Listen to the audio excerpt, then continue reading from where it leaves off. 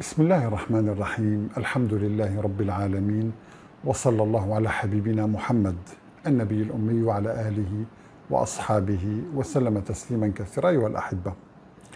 أود أن أتأمل معكم معجزة عددية في القرآن في آخر سورة نزلت من القرآن.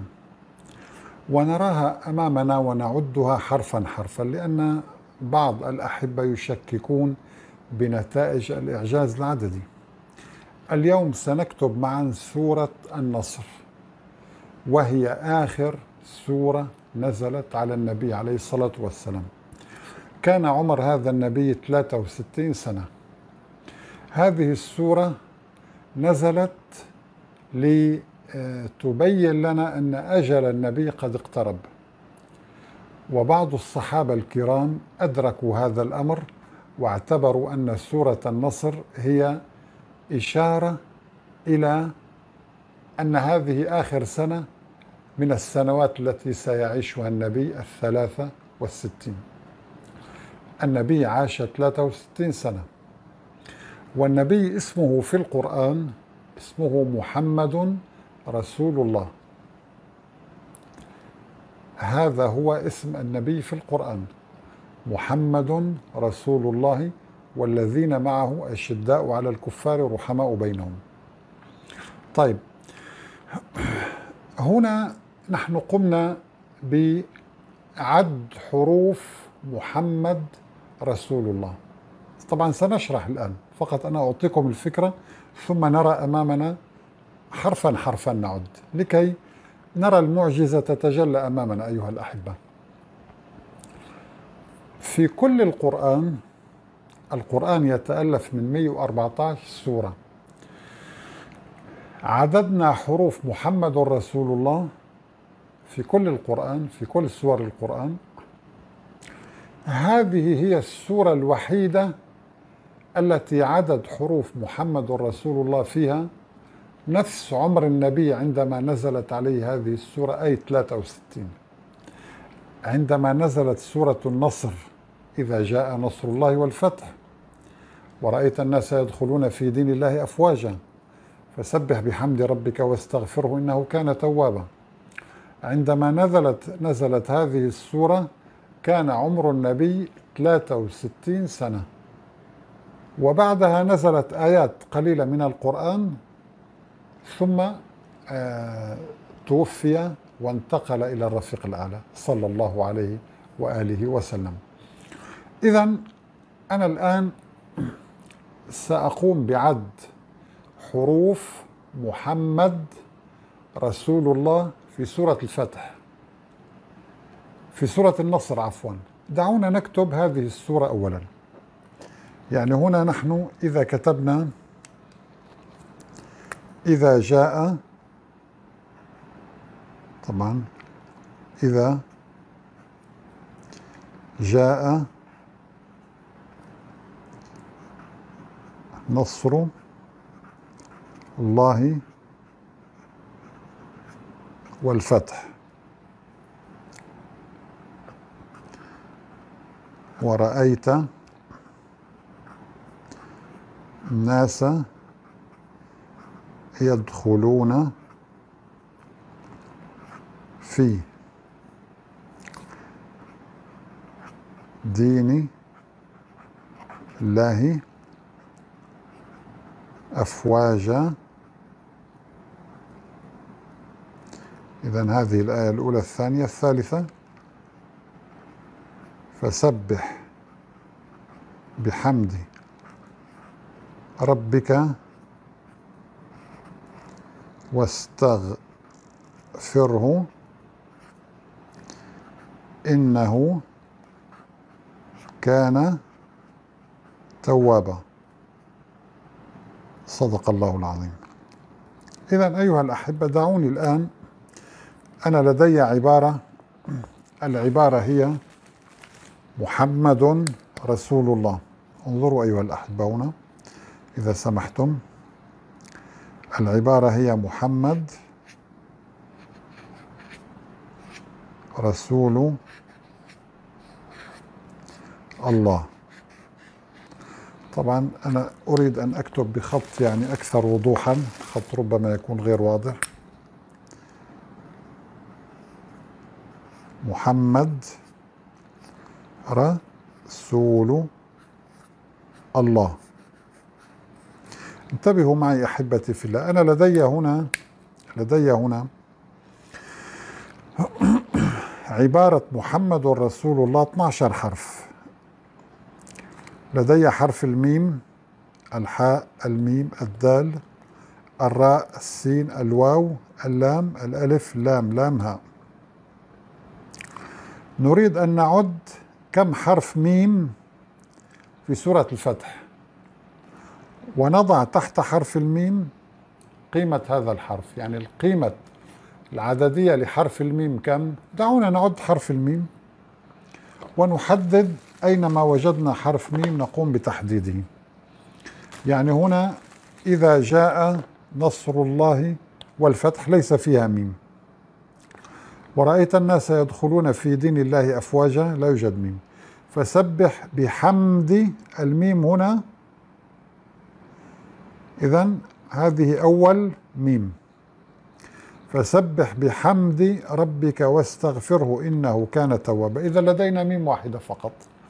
إذا جاء نصر الله والفتح ورأيت الناس يدخلون في دين الله أفواجا فسبح بحمد ربك واستغفره إنه كان توابا. إذا أنا هنا حرف الميم هنا أيها الأحبة تأخذ الرقم واحد. ولدي هنا ميم أيضا تأخذ الرقم واحد. إذا هذه الميم واحد وهذه الميم واحد أيضا. طيب. الحاء. انظروا أيها الأحبة إذا جاء نصر الله والفتح. هذه أول حاء هنا هنا. إذا هذه أول حاء رقم واحد. ورأيت الناس يدخلون في دين الله أفواجا فسبح بحمدي. إذا هذه الحاء هي الثانية وهذه الحاء الثالثة. إذا اثنين ثلاثة. واستغفره إنه كان تواب إذا أنا حرف الميم لدي هو ثلاثة حرف الحاء عفوا. محمد. الدال كم حرف؟ دعونا نعد. طبعا أنا يعني عددت هذا الكلام وأعرفه ولكن هناك من يعني يحب أن يرى بنفسه حرفا حرفا لنتأكد يعني. حرف الدال أحبتي في الله إذا جاء نصر الله والفتح ورأيت الناس يدخلون. هذا هو حرف الدال الأول. دعوني أستخدم لون آخر فقط لي, لي يعني آه يكون أمر أوضح. إذا يدخلون هنا رقمها واحد. هذا هو حرف الدال. في ديني الدال هنا اثنين. الله أفواجا فسبح بحمد. الدال هنا ثلاثة.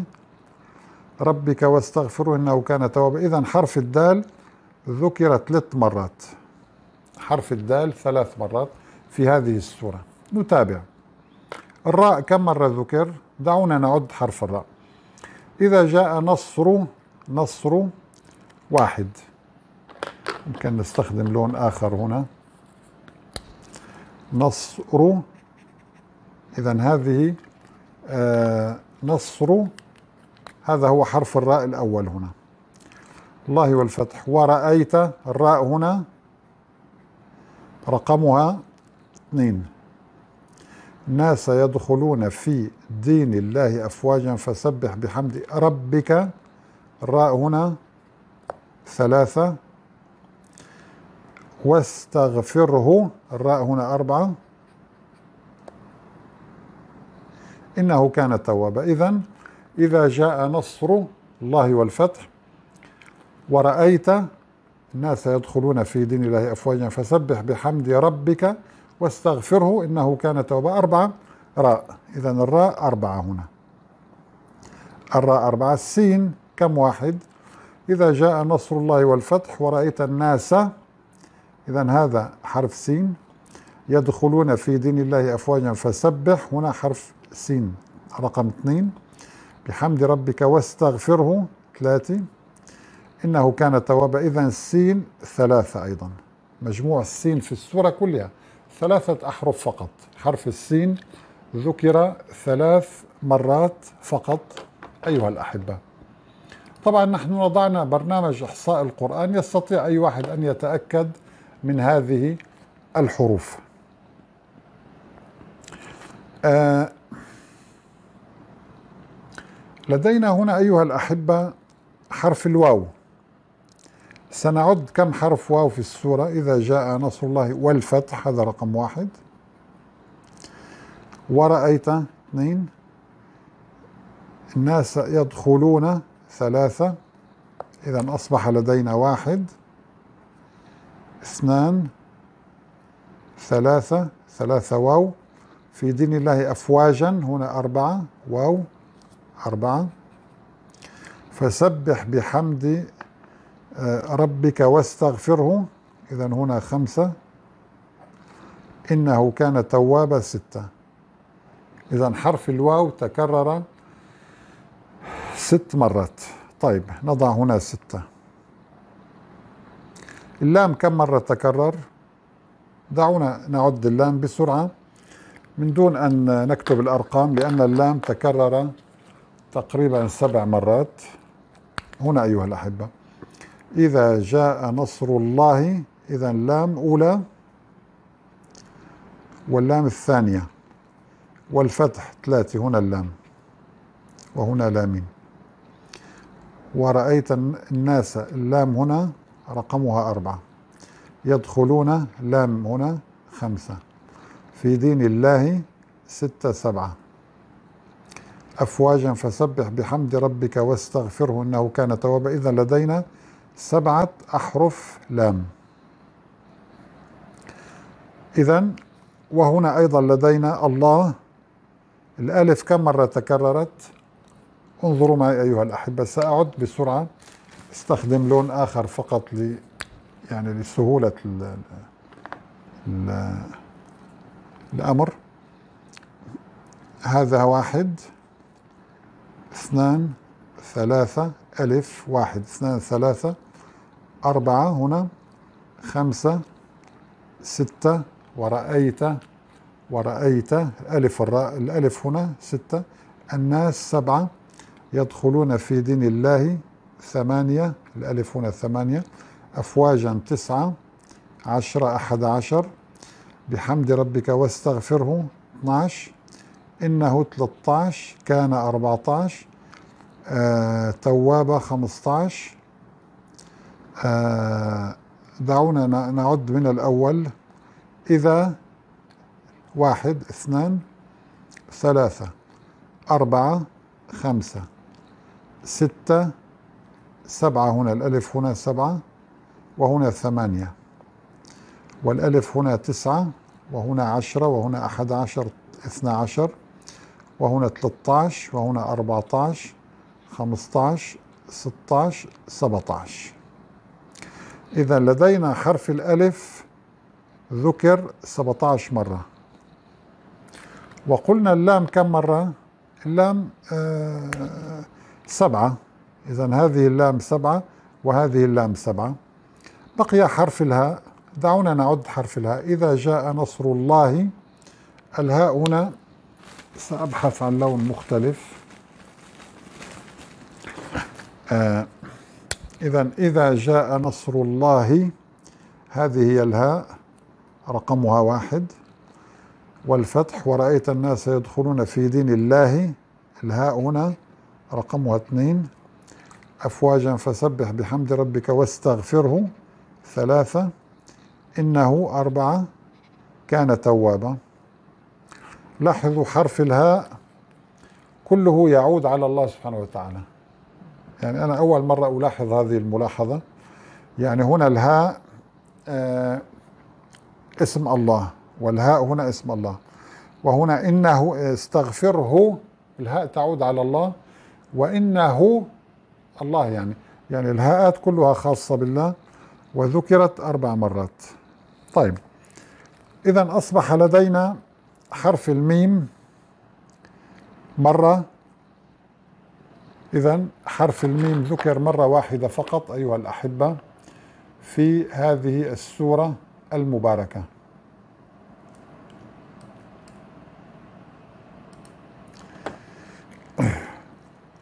إذا جاء نصر الله والفتح ورأيت الناس يدخلون في دين الله أفواجا فسبح بحمد ربك. فسبح بحمد ربك واستغفره إنه كان توابا. طيب أصبح لدي الآن هنا أحبتي في الله هذه هي العبارة. هذه هي العبارة هنا. محمد رسول الله. كل حرف من هذه الحروف تكرر بنسبة محددة في آخر سورة نزلت على النبي. طيب كم عدد هذه الحروف؟ حروف عبارة محمد رسول الله. إذا أيها الأحبة كل حرف من حروف محمد رسول الله تكرر في سورة النصر التي هي آخر سورة نزلت على النبي عليه الصلاة والسلام وعمره 63 سنة. تكررت بنسبة محددة. دعونا نجمع هذه الأرقام. آه واحد هنا طبعا هنا. واحد وثلاثة كم؟ أربعة. وهذا الواحد خمسة. وثلاثة ثمانية. زائد أربعة اثنى عشر. زائد ثلاثة خمسة عشر. زائد ستة واحد وعشرين. زائد سبعة ثمانية وعشرين. طيب. إذا ثمانية وعشرين. آه هنا آه سبعة عشر. إذا إذا هنا دعونا نكتب كل محمد عليه الصلاة والسلام. واحد واحد آه اثنان وثلاثة خمسة وثلاثة ثمانية هنا. ثمانية محمد. رسول أربعة وستة عشرة وعشرة عشرين. رسول عشرين. إذا المجموع 28 الله تعالى 17 وسبعة 24 وسبعة واحد وثلاثين وأربعة خمسة وثلاثين. طيب خمسة وثلاثين زائد عشرين خمسة وخمسين. زائد ثمانية ثلاثة وستين. إذا مجموع حروف محمد رسول الله هو ثلاثة وستين. مجموع حروف محمد رسول الله. في سورة النصر هنا يساوي 63 طيب ما هو العدد 63 هو عمر النبي عندما نزلت عليه هذه السورة المباركة. إذا أيها الأحبة هنا عندما نرى كيف تتداخل الأرقام مع اللغة يعني هذه السورة تقول للنبي عليه الصلاة والسلام إذا جاء نصر الله والفتح وبالفعل رأى الفتح ورأى النصر ورأيت الناس يدخلون في دين الله أفواجا إذا اكتمل الدين فسبح بحمد ربك. فكل الإضافات التي جاءت بعد النبي على هذا الدين لا أصل لها. انتهى. بنزول هذه السورة وبنزول آية اليوم أكملت لكم دينكم وآخر آية نزلت آه واتقوا يوما ترجعون فيه إلى الله ثم توفى كل نفس ما كسبت وهم لا يظلمون. اكتمل الدين.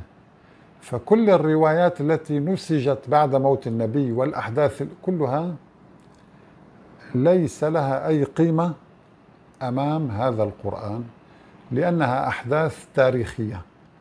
هذا قتل هذا وهذا أخطأ بحق هذا. أنا ليست مهمتي. أنا الذي يعنيني كلام الله اليوم أكملت لكم دين. اكتمل الدين انتهى الأمر. لا داعي للإضافات التي جاءت لاحقا. وأنشأت هذه الفرق الإسلامية للأسف. فهنا أيها الأحبة أنا أريد أن أطرح سؤالا دقيقا. يعني انظروا حروف محمد رسول الله. مجموع هذه الحروف في سورة النصر هو 63 نفس عمر النبي عندما نزلت عليه هذه السورة وختم بها القرآن آخر سورة كسورة كاملة يعني. آخر سورة كاملة نزلت من القرآن. طيب. هل النبي كان يعلم أجله؟ لا أحد يستطيع أن يعلم أجله. هل النبي هو الذي وضع هذه الأرقام ليبهرنا؟ لا. طيب. آه نحن طبقنا هذا القانون على كل القرآن. فقط هذه السورة التي فيها حروف محمد رسول الله 63 كل سور القرآن لا تتحقق فيها هذه المعادلة ولا حتى مضاعفات 63 يعني ليس العدد لا 63 ولا مضاعفاته. إذا أنا هنا أمام معجزة مادية ملموسة يوجد مثلها الآلاف في القرآن. الآلاف المعجزات موجودة في القرآن أيها الأحبة. أختم بمعجزة يعني وطبعا يصعب شرحها الآن ولكن بكلمات قليلة.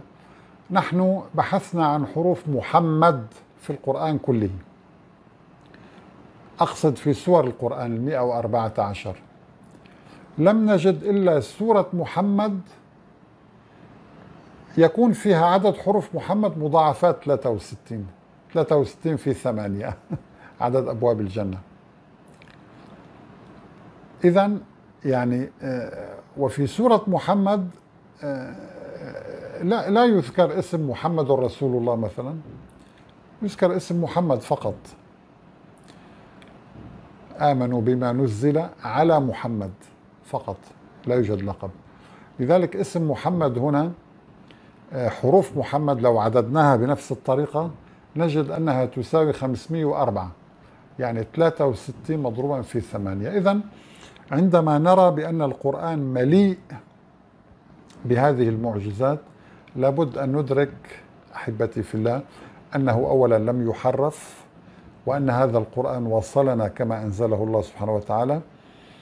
والدين مكتمل لسنا بحاجة لرواية تاريخية وأكاذيب وإلى آخره. نحن لدينا القرآن وفيه كل شيء تبيانا ونزلنا عليك الكتاب تبيانا لكل شيء. وهذه المعجزات تشهد أن هذا النبي صادق في دعوته وهذه معجزات تتجلى اليوم في القرن الحادي والعشرين تخاطبنا بلغة الأرقام لندرك أن أن أن هذا القرآن لا يمكن الإتيان بمثله. يعني هل يستطيع أحد أن يؤلف سورة ويضع حروف اسمه بحيث تتناسب مع عمره مثلا؟ وقلت لكم هناك آلاف النتائج الشبيهة والأقوى من هذه أيضا والأكثر إبهارا. تتعلق بالعدد 63 ولكن أنا فقط أحببت اليوم أن أفصل لكم هذه المعجزة. أسأل الله سبحانه وتعالى أن ينفع بها كل من يشاهد ويرى ويسمع آه هذا الإعجاز المبهر وأن آه ينفعنا به يوم لقائه يوم لا ينفع مال ولا بنون إلا من أتى الله بقلب سليم. والسلام عليكم ورحمة الله تعالى وبركاته.